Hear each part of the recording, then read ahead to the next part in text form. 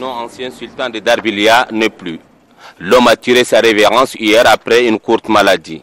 Sa disparition a surpris plus d'un, surtout ses amis avec lesquels il avait rompu le jeûne de Ramadan hier.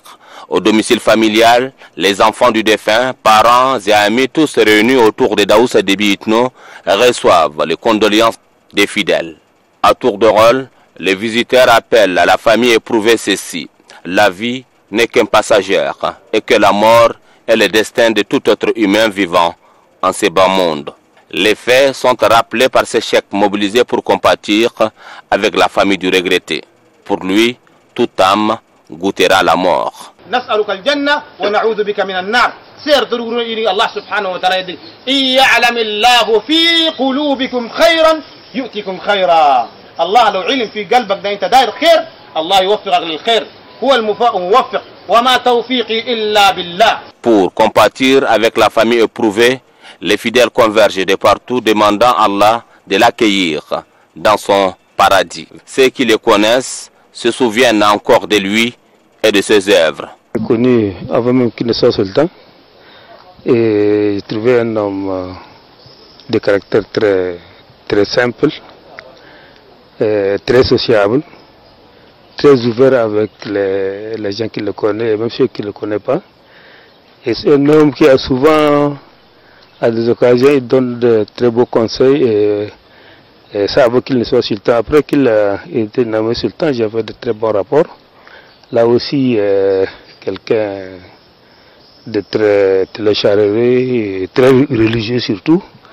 Et il a gardé de très bons rapports avec ses anciens amis. Et voilà donc je témoigne lui un homme, euh, un homme extraordinaire. Le dauphin Timan Debi, c'est un père. Sa, disparition brusque nous a beaucoup choqué la famille et en général tous les Tchadiens. De son vivant, nous témoignons, c'est quelqu'un de humble, c'est quelqu'un de digne, c'est quelqu'un qui nous a beaucoup prodigué des sages conseils. Vraiment, c'est comme une bibliothèque qui est partie. Et nous demandons le plus puissant Dieu l'exhorte dans son vaste paradis. Timan Debi Itno est né vers 1956 à Amdiaras, un ancien militaire des forces armées du Nord, FAN, puis un grand combattant du mouvement patriotique du salut MPS. L'homme fut aussi chef de sa communauté cantonale en 1987, puis sultan de Darbilia jusqu'en 2010. Il laisse derrière lui une vingtaine d'enfants et de veuves. Va en paix. Fini ces rituels, le corps est ensuite acheminé à la grande mosquée Roi Faisal de N'Djamena pour recevoir la dernière prière faite aux morts. Comme au domicile familial, ici les fidèles ont répondu massivement. Membres du gouvernement, présidents des grandes institutions de la République, parlementaires, tous mobilisés pour exprimer leur soutien au chef de l'État et à travers lui toute la famille de l'illustre disparu. À 13h, arrive le président de la République, Idriss Déby Itno, visiblement affecté par la disparition de son frère, Timan Déby Itno.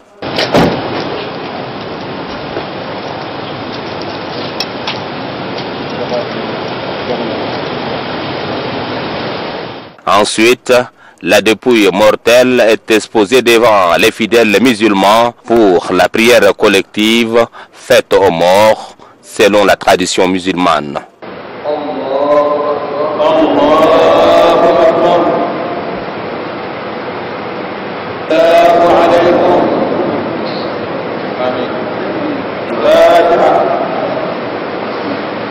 Après cette prière, le corps sans vie de Timan Debi Itno est acheminé vers l'aéroport international Hassan Djamouz de N'Djamena sous le regard du président de la République, Idriss Déby Itno, et la famille du défunt. Né à Amdjaras, Timan Déby Itno retourne à sa terre natale qu'il a vu naître. Inna lillah wa. Après la prière funéraire à la grande mosquée Roi Faisal, la dépouille mortelle de l'ex-sultan du Darbilia a été acheminée à Amgaras. De l'avion, le cercueil a été posé dans un corbillard sous le regard du chef de l'État Idriss Déby affligé par ses décès. De l'aéroport international d'Amgaras, le cortège a aussitôt pris la direction du cimetière d'Amgaras 1. C'est dans la sobriété et suivant le rite musulman que la dépouille a été ensevelie. Au cours de sa riche carrière, Feu Timan Debitnou a fait preuve d'un réel dévouement dans l'exercice des fonctions qu'il a assumées. Le deuxième vice-président et secrétaire général du Conseil supérieur des affaires islamiques du Tchad, Cheikh Abdeldaim Abdallah Ousmane, a prononcé des invocations pour le repos éternel des l'âme de l'illustre disparu. C'est aux côtés de son feu père que Timan Debitnou repose éternellement. Le président de la République Idriss Déby Itnou, le cœur déchiré par la tristesse mais résigné devant la volonté divine, tout en quittant le cimetière, continue d'implorer la grâce d'Allah afin qu'il accorde sa clémence et sa miséricorde aux défunts.